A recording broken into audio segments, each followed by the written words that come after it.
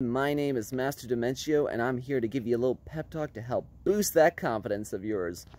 Now, as you can see, it's pretty dark out here. You know what this is? This is the darkness within you. All of the fear, all of the anxiety, all of the lack of self-confidence. Well, I'm here today to tell you, you don't have to worry about any of that. You've got this.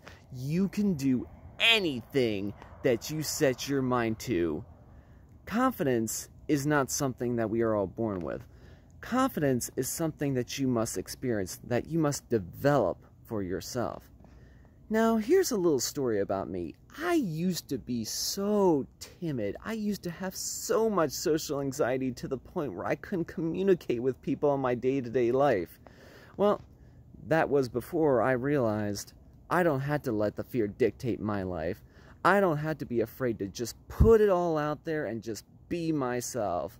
And nowadays, I'm going to cosplay conventions, I'm dressing up as Dimentio from Super Paper Mario, I'm dressing up as a giant chicken, dancing in front of everybody for all to see, recording it, putting it on the internet, just stuff like that. That is what confidence is all about.